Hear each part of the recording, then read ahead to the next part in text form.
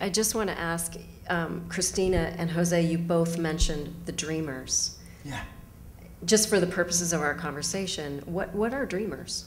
Who are they? What you go, is- Chris- you go, Yeah. Cristina. Um, so it's um, it's interesting because we um, actually started claiming the term dreamer uh, back in 2010. Mhm. Um, and when we refer to dreamers, which now I love the fact that we can talk about dreamers when we talk to media and we talk to reporters and they know who we're referring to, uh, as opposed to the legal immigrants. Mhm. Um, but uh, dreamers are undocumented youth um, who have, you know, grown up in this country like everybody else, um, gone to school thinking they're Americans, thinking they belong here, claiming this as their home, this country as their home. Um, so those, um, you know, when we say dreamers, those are the folks that we're referring to, um, and many of them have um, been committed to organizing, mobilizing communities, and being leaders in, in their communities to create change around Terrific. immigration. Thank you, Cristina. I think it's really interesting because both of your stories are so personal and they're so political. So, really talk about the personal is political. I think that's incredible how you live that all of the time.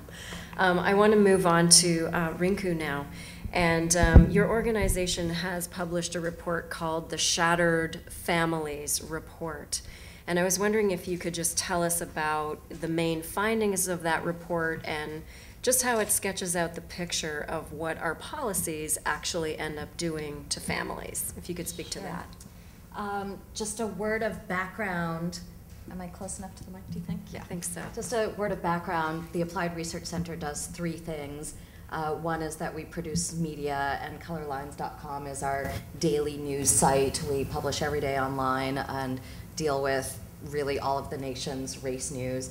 And then we do research both into how uh, policies affect communities of color, but also what works in terms of making social change.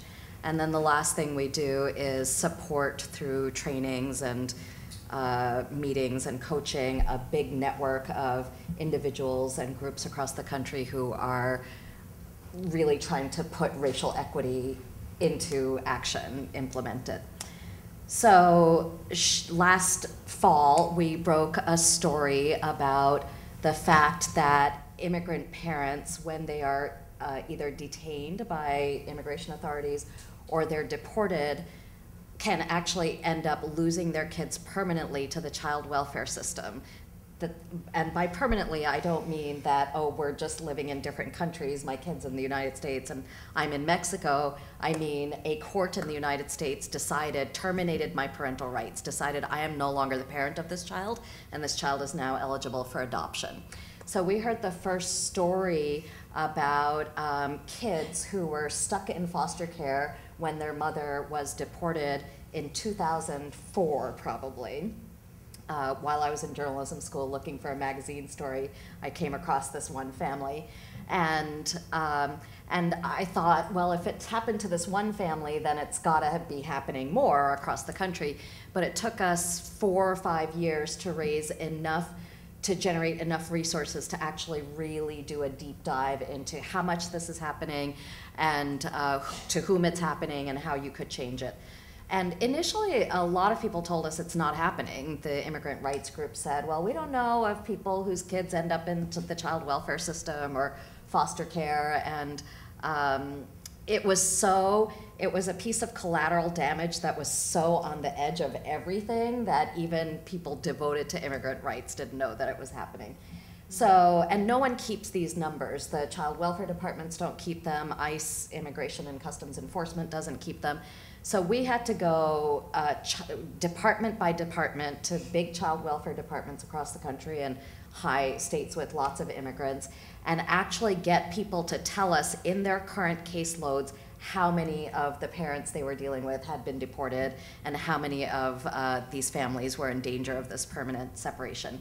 And from doing that research, we came up with a very conservative figure that there are 5,000 kids across the country in child welfare departments who are in danger of never seeing their parents again, basically. And um, just today, as a matter of fact, there was a really sad, outrageous court ruling in a Missouri case, the case of Encarnacion Bail. This case doesn't involve child welfare, but it's very similar. Encarnacion was working in a factory in Missouri and it was raided by ICE. She had made an arrangement if, if she got caught in a raid like that, that a couple that she knew, a white Missouri couple, would take care of her child until she could make arrangements to, to get Carlos. Her, ba- her son was a baby at that point. She was uh, deported to Guatemala, and the couple initiated adoption proceedings, got a judge to declare the mother having abandoned the child, and essentially did an illegal adoption.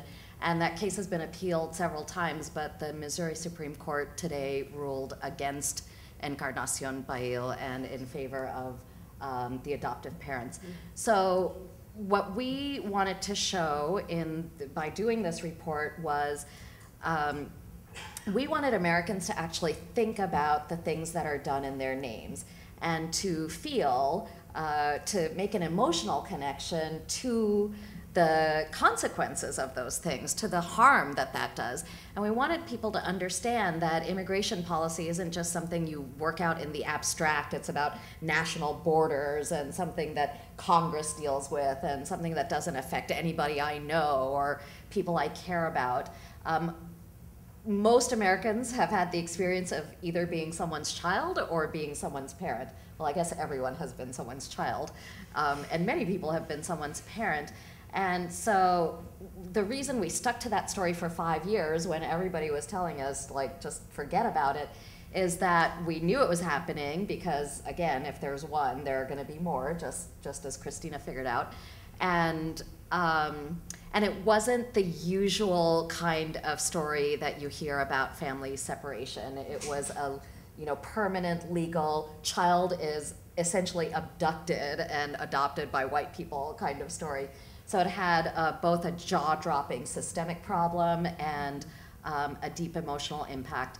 And um, it is, even though it's on the edge of child welfare and immigration. I mean, most Americans don't deal with the child welfare system, which is um, deeply messed up in itself.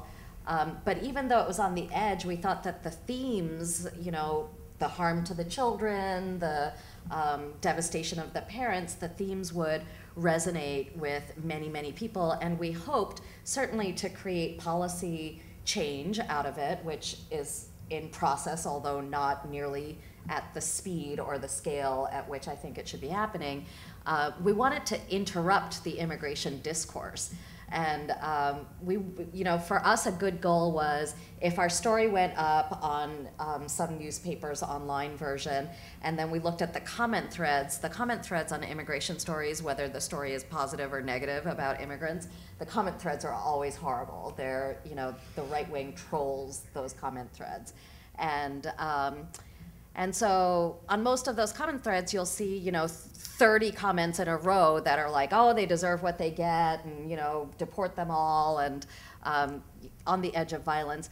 But in the comment threads about our story, you know, maybe the fifth one in, somebody would say, well, I don't like those illegals, but I'm not sure that this is the right thing to have happen. I don't know if this is really okay. So for us, that felt like a significant victory to just to get people to put themselves in another person's shoes, something I think the Dreamers have done quite brilliantly, um, and then to actually question whether the human impact of the policies that they have been supporting up to that point is an acceptable impact to them. It's an impact, whether or not that's an impact that they can live with. Thank you so much, Rinku. That was really informative. Um, Karen, you work with the New York Immigration Coalition, as I mentioned, and I was hoping that for the purposes of our discussion tonight, you could really frame the current political context of the immigration debate and the issue, and particularly if you could comment on the prevailing narrative around immigration. Okay, um, Great. Is this good? Um, so when I think about the sort of political and narrative context for the immigration debate, um, it's exasperating and it's even heartbreaking. and then there's also this exhilarating piece. Um, I- you know, I think right now we're in a place where immigration is clearly the wedge issue.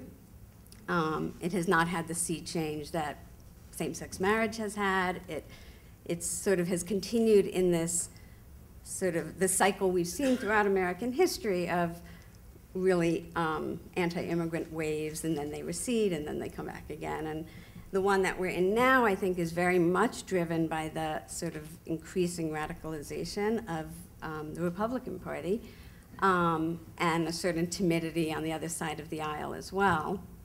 But it really began, um, and I mean, some of these issues have been bipartisan historically. Um, you have the DREAM Act. It was introduced over uh, 10 years ago, um, bipartisan. Um, it had Republican and Democratic sponsors. Um, at this point, you don't have Republicans behind it at all. Um, you also don't even have some Democrats behind it. Um, you know, we had McCain in 2006, 2007, partnering with Senator Kennedy to sponsor um, a comprehensive immigration reform bill that would have sort of done a very huge overhaul of our immigration system.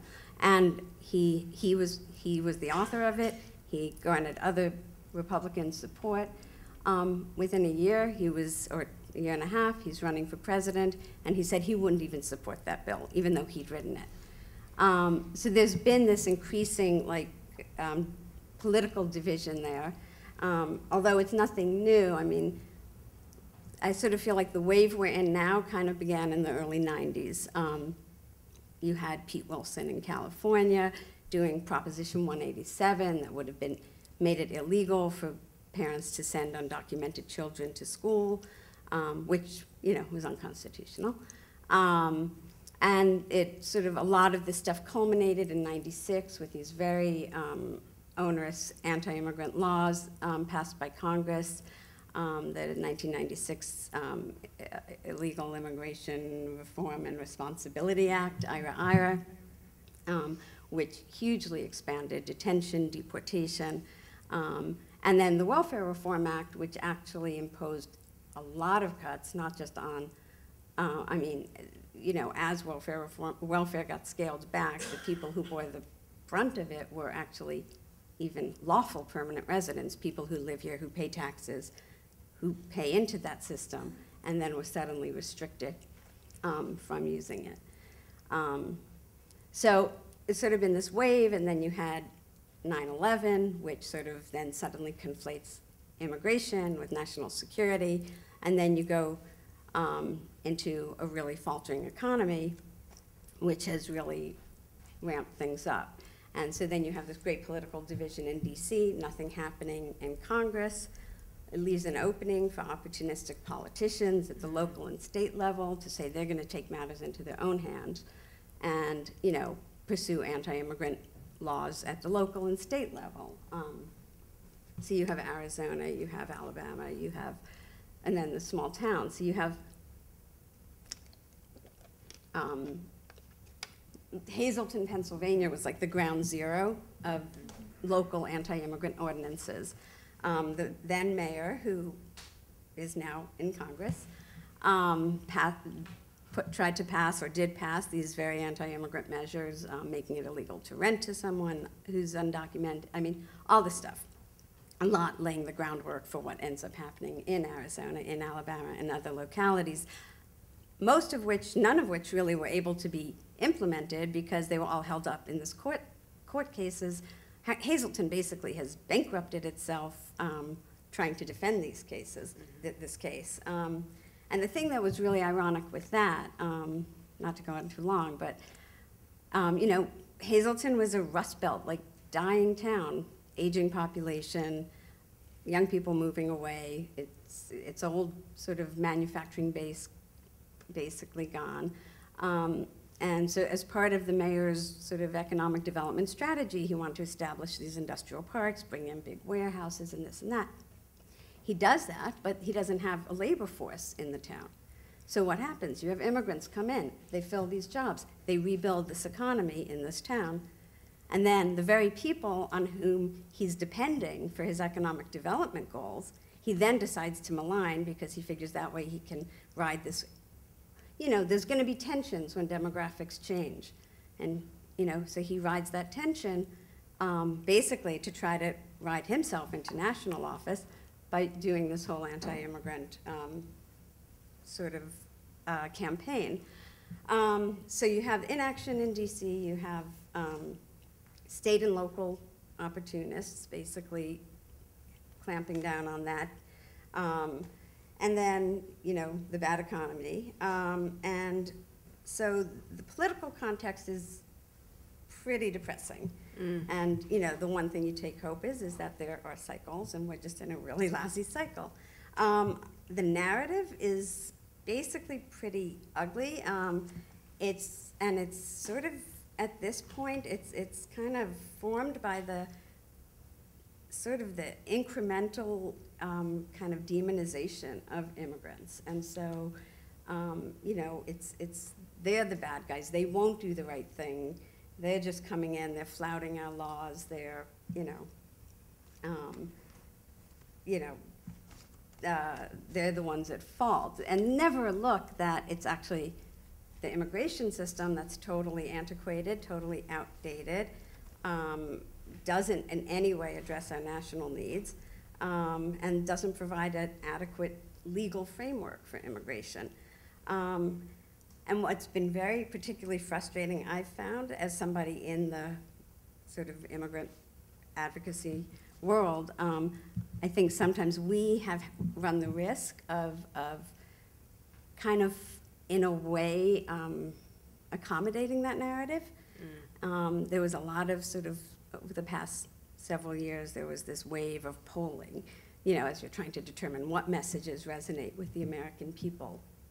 And uh, so this feeling that, um, you know, if you frame it as people just need to get right with the law, and they need to pay the penalties, and they need to do this, and they need to get right with the law, then you see the people are open to a legalization program for the 10 plus million undocumented people here. But the thing is, maybe that kind of might resonate in an, a country that sort of might pride itself on being a nation that's governed by the rule of law. Um, but I don't know how you, in any way, can then take that and move policy if your premise is that these people have done the wrong thing and it's not the system that needs changing, they're the ones who are at fault. So I think, uh, um, I think sometimes we need to think what resonates, but how would or would that not translate into the kind of policy change you're seeking? Um, and so that's sort of like the narrative, I think the prevailing narrative. Um, Absolutely. Mhm.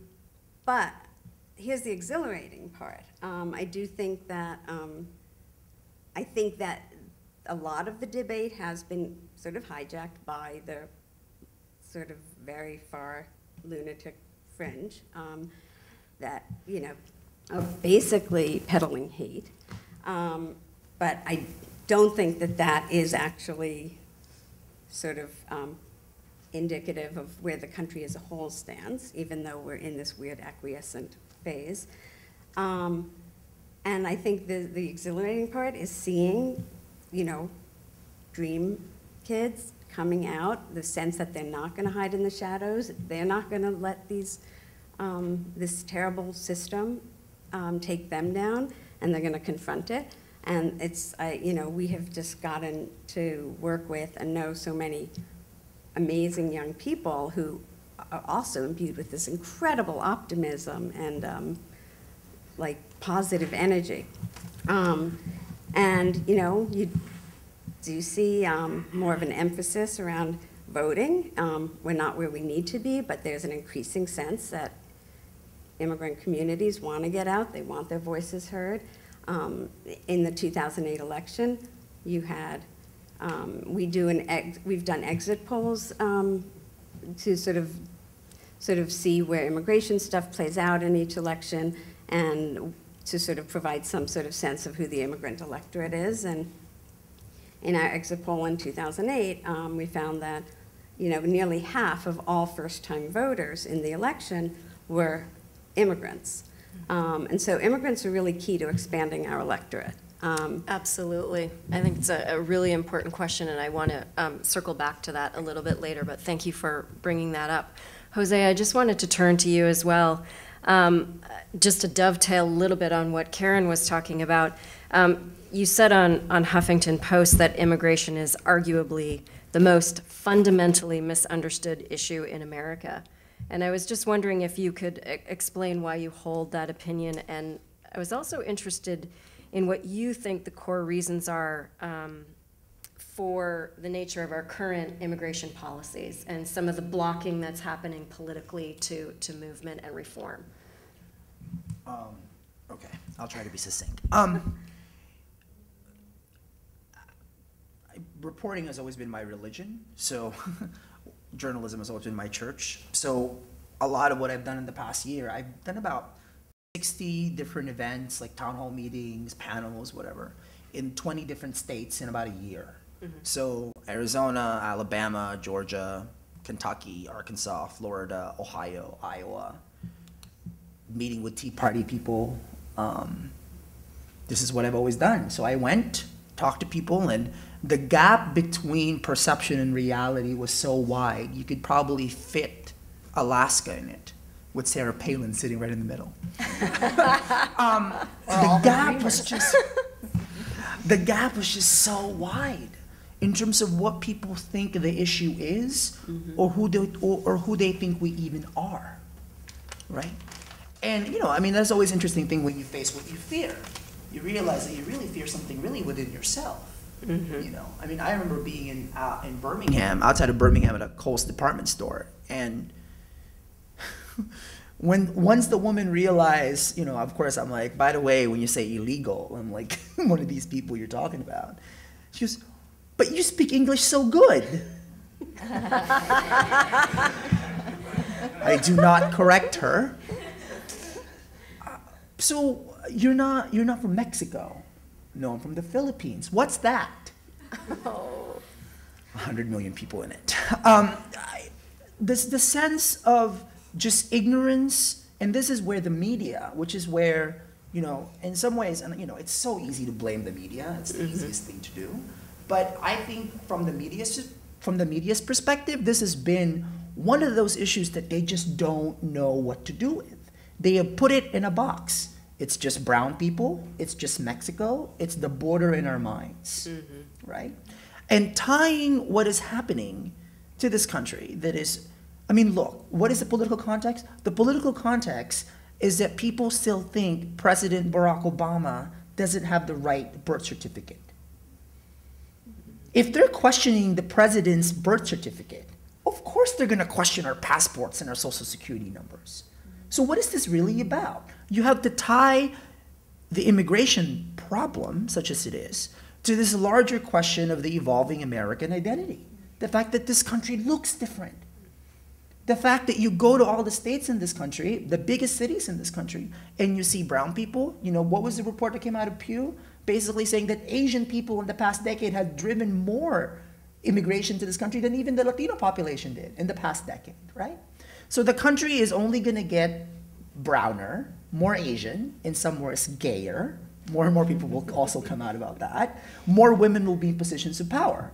I know this enough because I've confronted this enough. You talk to white conservative people in the South or in the Midwest, they feel like their country is being taken away from them. Mm-hmm. Right?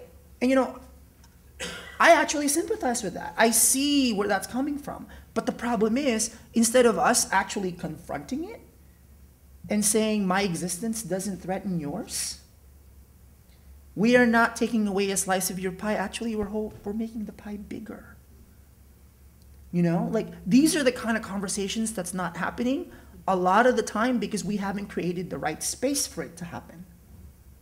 And again, I cannot overemphasize the need. What is that great Hannah Arendt quote, right? Storytelling reveals meaning without committing the error of defining it. I am not some political box. I am not some punching bag. And to me, the mistake and the not the mistake, but The short-sightedness in the policy front has had to do with the dehumanization of the whole issue. Mm. I mean, look at where we stand. We're called illegal. Can you think of any other issue in which you refer to a group of pe- people as illegal?